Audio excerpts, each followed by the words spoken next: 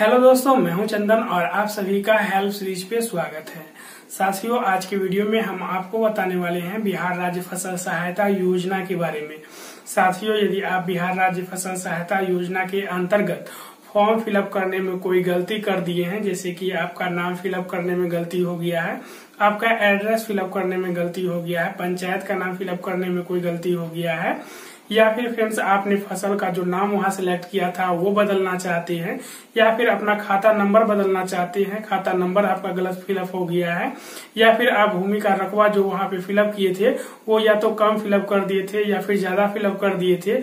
या फिर उसमें कोई बदलाव करना चाहते हैं, या फिर और भी ज़मीन का डिटेल वहाँ पे ऐड करना चाहते हैं, जोड़ना चाहते हैं तो फ्रेंड्स आप लोग सभी काम अब बड़े आसानी से कर सकते हैं।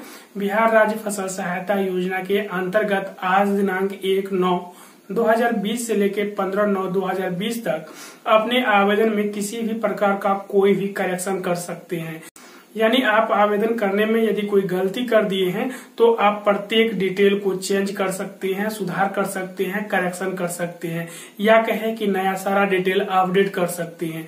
ऐसे में आप चाहे तो आवेदन में कुछ डिटेल को बढ़ा सकते हैं, या फिर कुछ डिटेल को आप कमा भी सकते हैं। तो फ्रेंड्स, यदि आप भी बिहार राज्य फ़सल सहायता योजना के अंतर्गत फॉर्म फिलअप किए हैं तो फ्रेंड्स, यदि आप भी बिहार राज्य फ़सल सहायता योजना के अंतर्गत फॉर्म फिलअप किए हैं तो सर्वप्रथम अपडेट करने के लिए आना होगा इसके ऑफिशियल साइट पे। और जैसे ही आपके सामने ऑफिशियल साइट ओपन हो जाएगा, फ्रेंड्स, यहाँ पे देखेंगे आपको तीन चार लिंक मिल जाता है। आप किसी भी लिंक पर क्लिक करके आपको लॉगिन करना होगा और लॉगिन करने वक्त आपको मोबाइल नंबर, पासवर्ड, कैप्चा देने के बाद आपको लॉगिन करना होगा। और जैसे ही फ्रेंड्स आप लॉगिन करते हैं, आपका सारा डिटेल यहाँ पे शो हो जाता है। और फ्रेंड्स, आपको जिस भी सेक्शन में लगता है कि हमने गलत फिलअप कर दिया है। जिस भी सेक्शन में आप बदलाव करना चाहते हैं, उस पर क्लिक कीजिएगा तो फ्रेंड्स वो डाटा सारा ओपन हो जाएगा। आप यहाँ पे प्रत्येक डाटा में बदलाव कर सकते हैं, सुधार कर सकती हैं, नया डाटा ऐड कर सकते हैं, या फिर जो कहे आप कर सकती हैं, उसके बाद फ्रेंड्स आपको अपडेट बटन पर क्लिक कर देना है। और जैसे ही अपडेट बटन पर क्लिक कीजिएगा, उसके बाद फ्रेंड्स दोबारा से आपको आना है यहाँ पे और यहाँ पे आपको फाइनल सबमिट कर देना है। और फाइनल सबमिट करने के बाद आपका रिसीविंग प्रिंट आउट हो जाएगा और उसके बाद फ्रेंड्स आपका आवेदन में पूर्ण रूपेण बदलाव हो जाता है।